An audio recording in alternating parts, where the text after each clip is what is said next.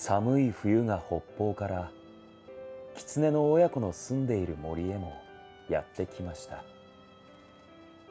ある朝ホラー穴から子供の狐が出ようとしましたが「あと叫んで目を押さえながら母さん狐のところへ転げてきました。母ちゃん目に何か刺さった。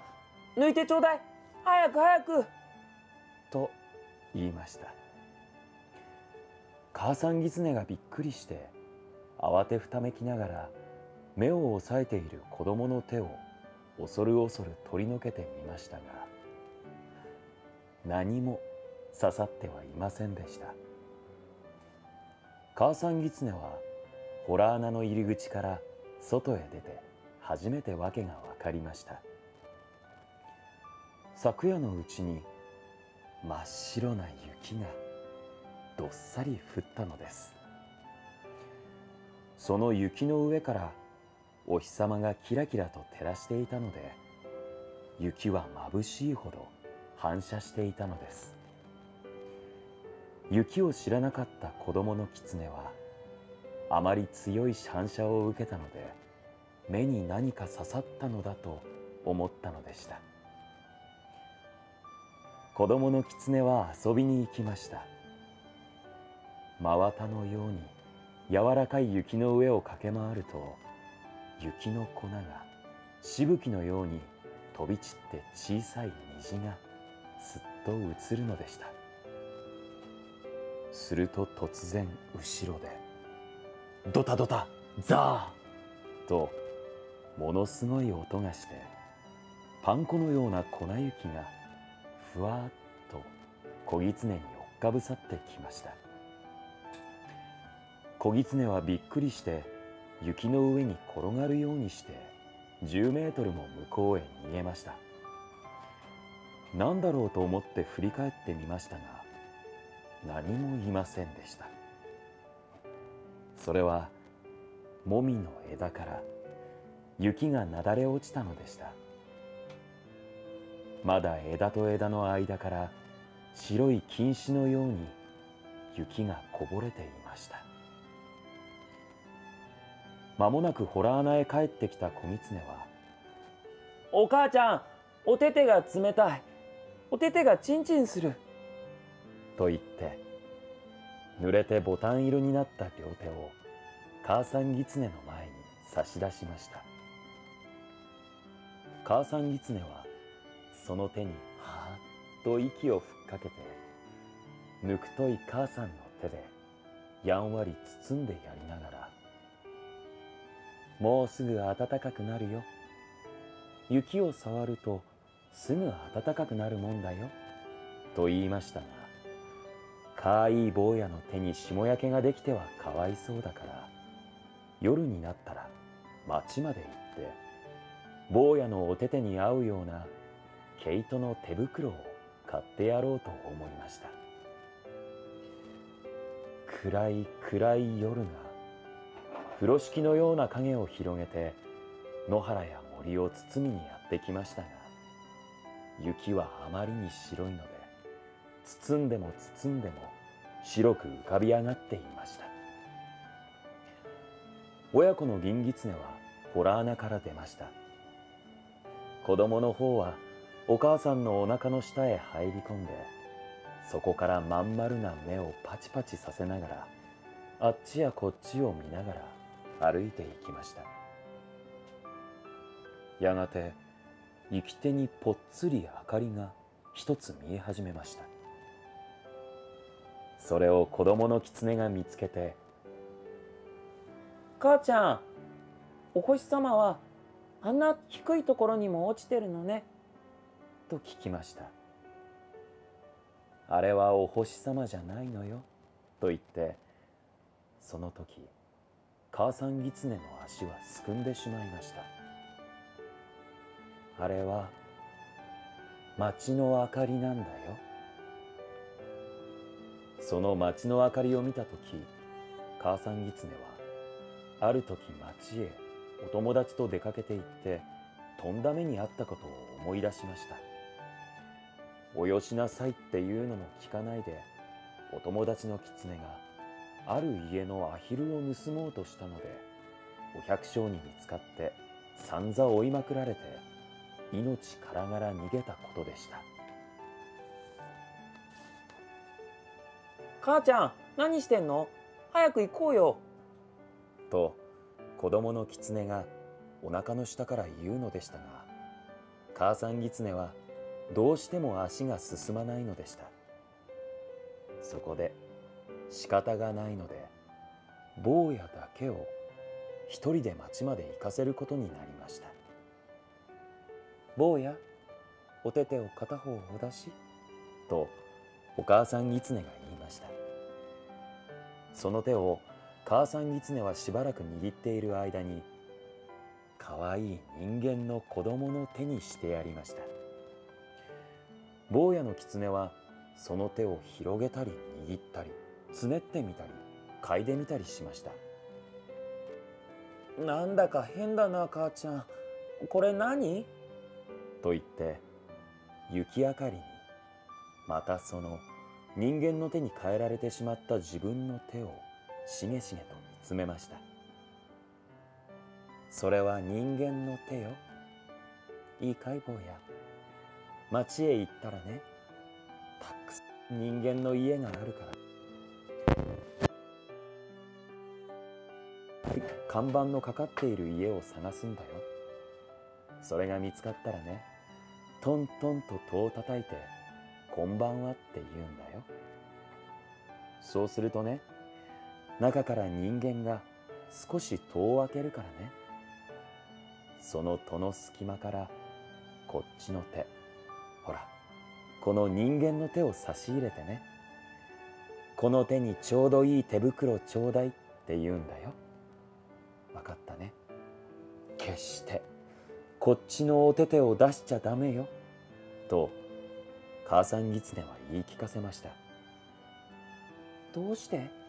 と坊やの狐は聞き返しました。人間はね相手が狐だと分かると手袋を売ってくれないんだよ。それどころか捕まえて檻の中へ入れちゃうんだよ。人間って本当に怖いものなんだよ。ふーん。決してこっちの手を出しちゃいけないよ。こっちの方ほら人間の手の方を差し出すんだよ。と言ってお母さんの狐は持ってきた二つの白銅貨を人間の手の方へ握らせてやりました。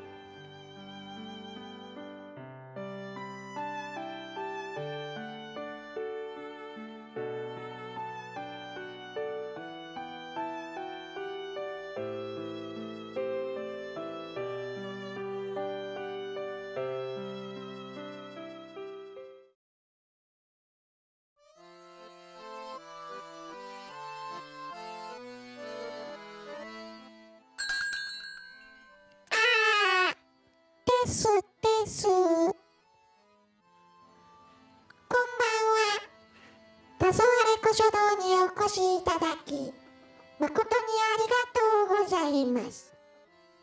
こんばんは。黄昏古書堂の裏の店主。ファルベーです。ファル、ファルベーです。ファル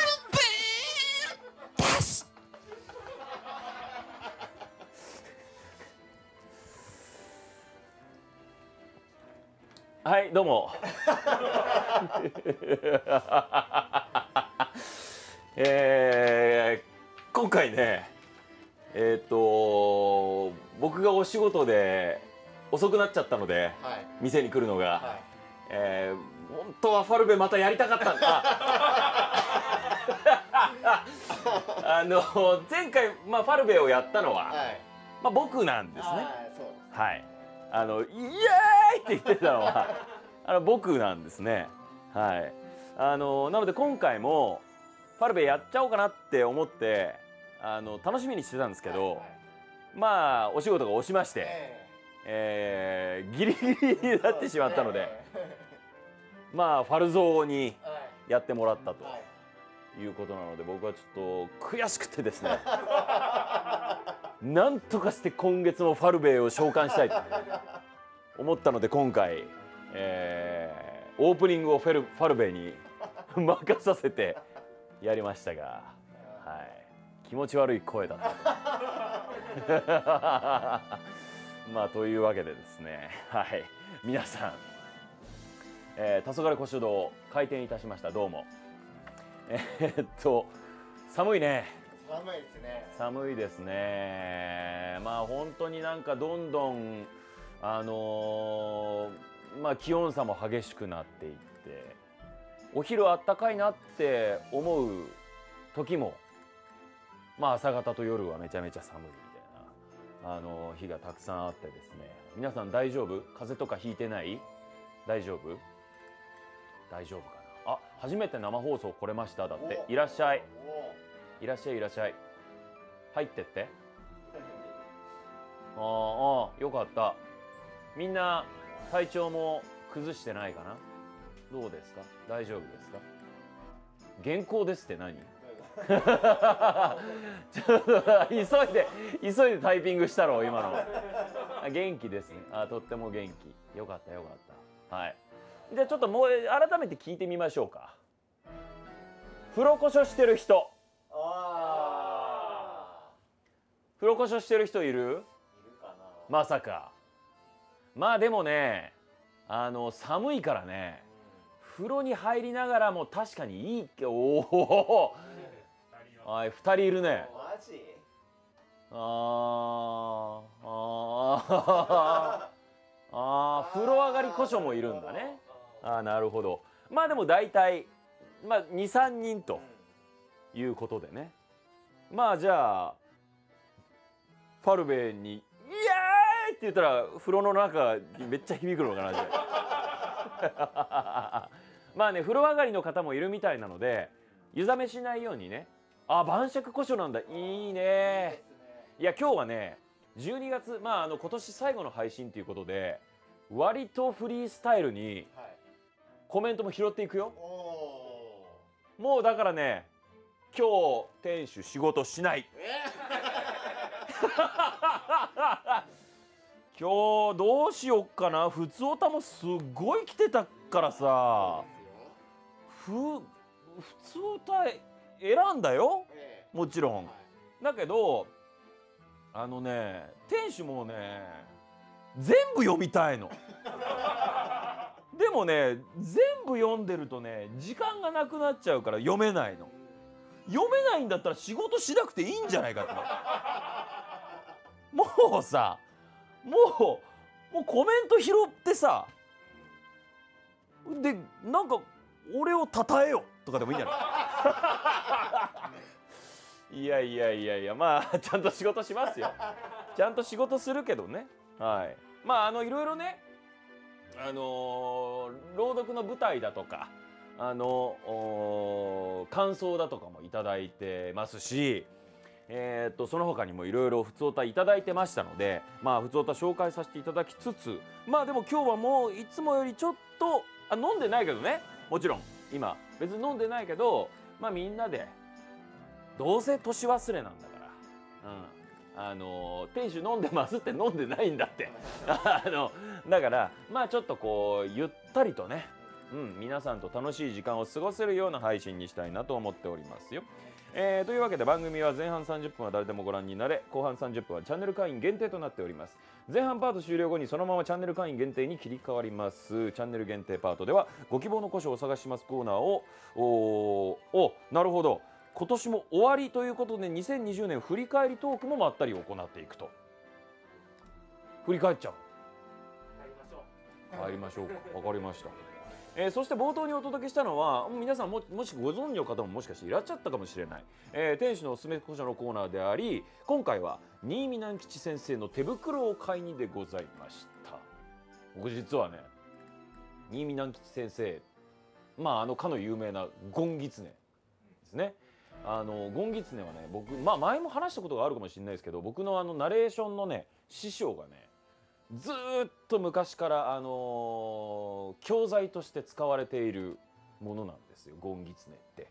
で、えーその僕の師匠はそのゴンギツネを、えー我々まあその養成女性まあ僕も養成女性だったのでまあ7年前8年前まあ10年弱ぐらい前ですねでその時に、えー僕らに教材として、えーゴンギツネやっていただきながらそのその師匠が言ってたのが私はこのゴンギツネを海外の方にも日本語で話したとしても内容が分かるようになれば読み手として一つ形を得たって思うと思うんですって言ってて確かにそうだなって思ったんですよ。あのゴンギツネってすごく分かりやすい題材でありでもすごくこう平和な時っていうかとてもなんかこうあの心温かいところもありで、えー悲しいところもありでそのさらに悲しいところからまたさらにこう、まあ、真相が分かっていくっていう過程の中ですごくドラマティックなんですよあれって。あのーすごく簡単なあの題材ではあるんですけどねでもシンプルな題材がゆえにすごくドラマティックなあ作品でですねそれを聞いてから僕も新見南吉先生の作品は、えーいつか読みたいなっていうふうに思ってたので「えーゴンギツネ」はねまだね読めません。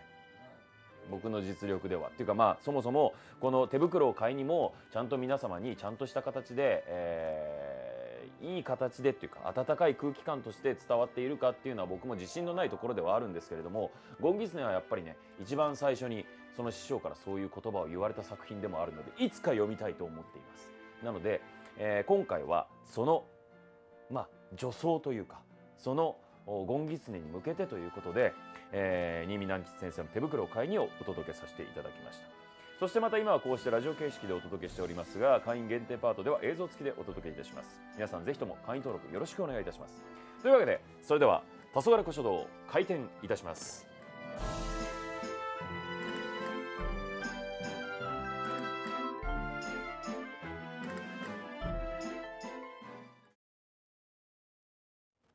この番組は DMM ピクチャーズの提供でお送りいたします。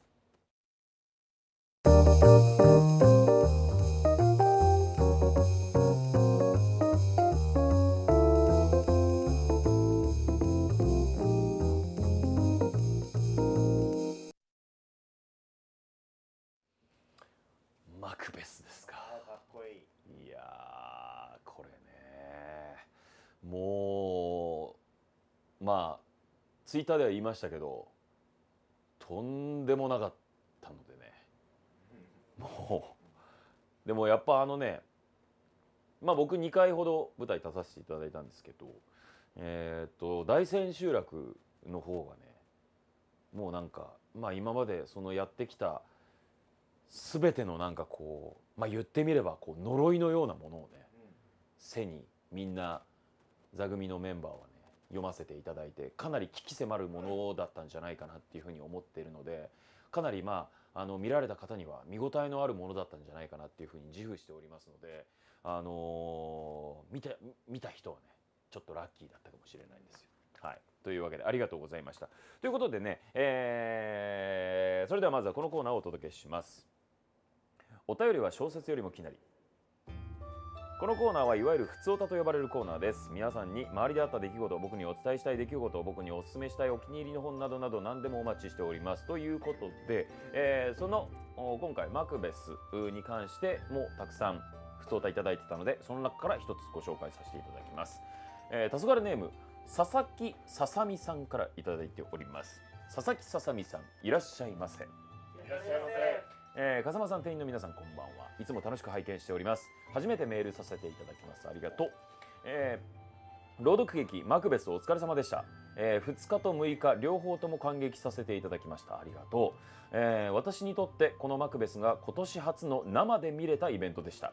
見れて本当に良かったと思っています。また私事ではありますが6日は私の誕生日でもあったので喜びもひとしおです。もうおめでとうお誕生日。えー仕事で行き詰まっていましたが仕事どころか向こう1年頑張れそうです。マクベス本当に楽しかったです。風間さんの複数の役の演じ分けが素晴らしく役によって着ていた衣装が王らしい、えー豪華絢爛なものに見えたり怪しい魔女のおどろおどろしいローブに見えたりしたのがとても心に残っています。なるほど。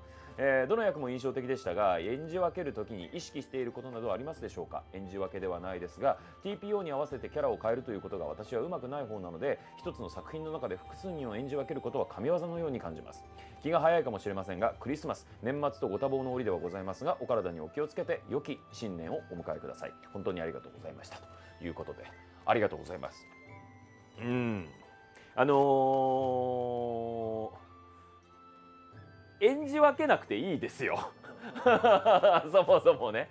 あの TPO に合わせてキャラを変えまあその一応ねその生きやすくなるように生きるっていうのはそのライライライブライブの意味ね。生きる。生きやすくなるようにあのちょっとだけキャラを変えていろんな人に接するっていうのは人生の処世術かもしれないですけどまああのこれはねまあ言ってみれば、まあ、さっき呪いという言葉を言いましたけど、まあ、そういうふうにもし皆さんあのききた聞いたり見たりしていただいている皆さんになんかこう全然違うように見えるとかあの全然なんか別人格のように聞こえるっていうのがあるならばそれはね役者の呪いですよ 役者にのここかかっている。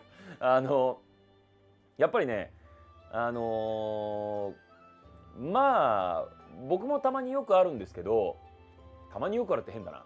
あの僕もよくあるんですけどあのー役にはまりすぎてあのー対人関係がおろそかになることもあるんですよもちろん。うん。あのーあまりオープンにできないキャラとかをもしやってるとそれが自分の実生活にも及んで、えーまあ、例えば挨拶されているのにあんまり挨拶にうまく返せなくなっちゃうとかそういうのは往々にしてあるので、あのーそれはね演じ分ける時に意識していることっていうのであればその人になるっていうことかな。はい、でもそれって辛いことの方が多いです。はい、あのドラマの中で出てくるやっぱりキャラクターとか登場人物ってやっぱりこうあのドラマティックな生き方をしているがゆえに、ドラマティックな生き方って決して人間にとって良い精神状態ではなかったりもするのであのまあでもそれが心地よくなってきたりもするんですけどねやってると。でも心地よくなってる自分って本当に大丈夫なんだろうか人としてって思うとそれはね答えは出ないんです。だけど、えー役者という生き方をやっている限りはそれでいいんだって自分に言い聞かせながらやってます。なのであのー前もしかしたら話したことがあるかもしれないですけど我々ってあの何者にもなれるようにどんな人の心も理解して演じられるように極めて心を柔らかくしているので外側からの外圧にやられやすかったりするんですね。ちょっとしたことでもすぐ落ち込んじゃったりだとかその心を無防備にしてるがゆえに心を柔らかく無防備にしてるがゆえにあのー外圧にやられてすぐに自分の生きている意味とか、あのー大丈夫なんだろうかとかあのなってしまうようになるので、まあ、何が言いたいかというとみんな自分の推しには優しくしてあげてね。それだけですよ。あのたくさんねみんなも応援してる人役者さんあのアイドルの方いろいろいると思いますけれどもあのその人が皆さんから見てああ優れた役者さんだなとか優れた演じ手だなとか優れたそのエンターテイナーだなっていうふうに、えー思われる方なんであればそういう人はね決して多分ね外圧に強くはないと思います。あのーなんかすぐにやっぱり落ち込んじゃうしでもそれってしょうがないんですよね表現者として優れた表現者であろうとすればするほどそういうような心になっちゃうのでだから、まあ、あのぜひみんなね優しくしてあげてね 応援してる人たちのことをね。はい、というわけで、えー佐々木ささみさんあの答えになったかどうかはわからないですけれどもまああの我々、まあ、僕というか私というか我々はそういった形で、えー演じ分けっていうものというかまあお仕事としてお芝居をさせていただいてるかなっていう感じですね。はい、えー続きまして、え2通目。黄昏ネームゆうさんからいただいております。ゆうさんいらっしゃいませ。えー店主の笠間さんそして書店員の皆様こんばんは。ゆうと申します。初めてメールを送らせていただきます。ありがとう、えー早速ですが相談です。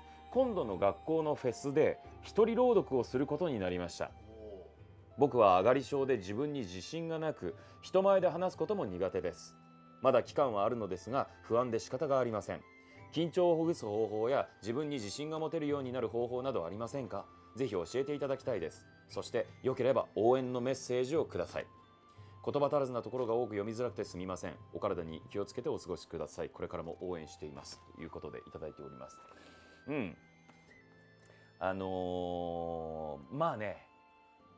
僕なんかも緊張もするしプレッシャーには弱いしあのプレッシャー感じることもあるし僕なんかがねあのこう上から目線で言えるようなことはあまりないんですけどでも一つまあゆうさんに自信を持っていただけることがあるとするならばこのすごく短いメールの文章だったんですけどすごくね紹介したいって思うだけの力がありました。すごくね心が伝わってきました。本当に緊張してて自信がなくて不安で仕方がないんだろうな。だからこそ頑張れって伝えてあげたいって思ったので選ばせていただきました。ということはゆうさんのそういう人の心を動かす力って文字からも伝わってるんですよ。だからあのー自信がなくだとか不安で仕方がないっていうのはしょうがないと思います。だけどあの僕は今回ゆうさんの、あのこういった経緯を知ってゆうさんに心を動かされた最初の人だと思ってます。なので、えー、ゆうさんのその思いっていうのは人を動かすに足るものだと思いますのでそれは一人朗読をしたことにしたとしてもきっと誰かの心に響く方なんだと思います。なのであのーまあつらつらいろんなことは言いません。なので結構もうみんなもねあのーコメントで言ってくれたりしてるんですけれどもあのー頑張れ。まあ頑張れ。うーん難しいな。うん。楽しんでこいだよね。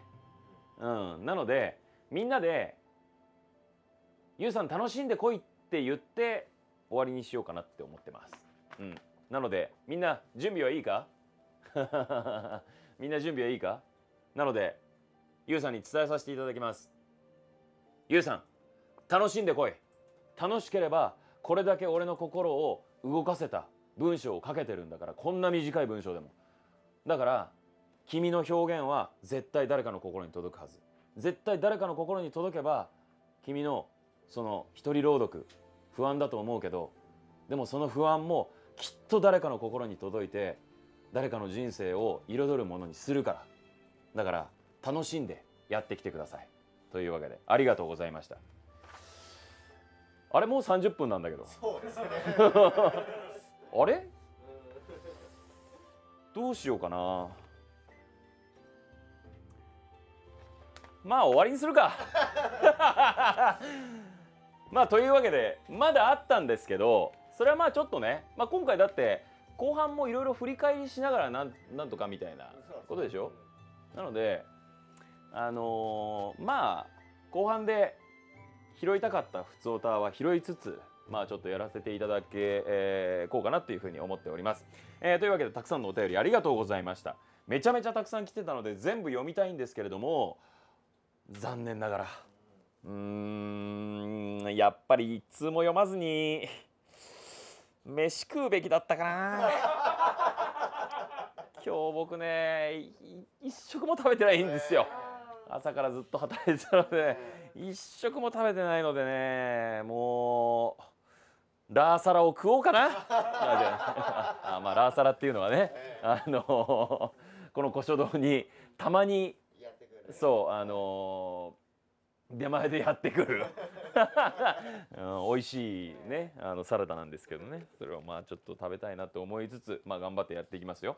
というわけでありがとうございました。番組への普通歌のお便りはメールでお待ちしております。メールアドレスはたそこしょ at ファルゾーニ .jp たそこしょ at ファルゾーニ .jp となっております。懸命にコーナータイトルを書いてお送りください。以上。お便りは小説よりもきなりのコーナーでした。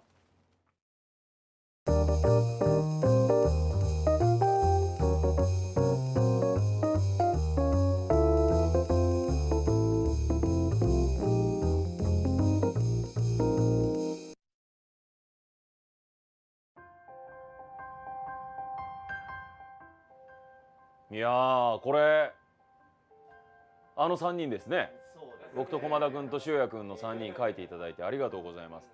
まあ、塩谷君はねあの今同じ事務所っていうのもあるんでたまに会うんですけど最近ずっと駒田君と会えてなくって、あのー今回の朗読で久しぶりに会ったんですよ。で「うわー久しぶり」とかって言ってたら彼も変わらず「ジュンジュンいい声だね その声聞いてたら安心するよ!」って言ってくれましたけど。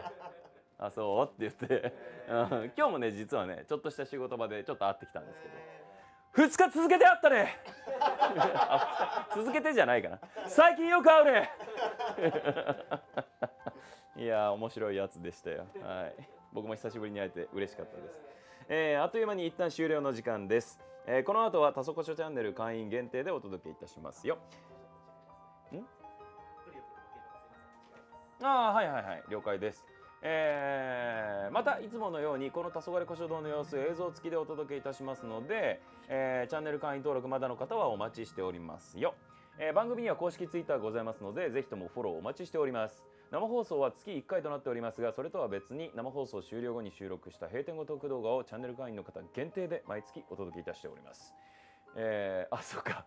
これあの今回の直近で出したおまけ動画は僕が呼吸をしてるやつですよね確か。ですですよね。まああれは見なくて結構です、えー次回の放送次回の放送です。次回の放送は年明け、えー1月12日火曜の21時からを予定しております。1月,、えー1月12日火曜ですね。1月12日火曜の21時からでございます、えーここで姉妹番組のご紹介。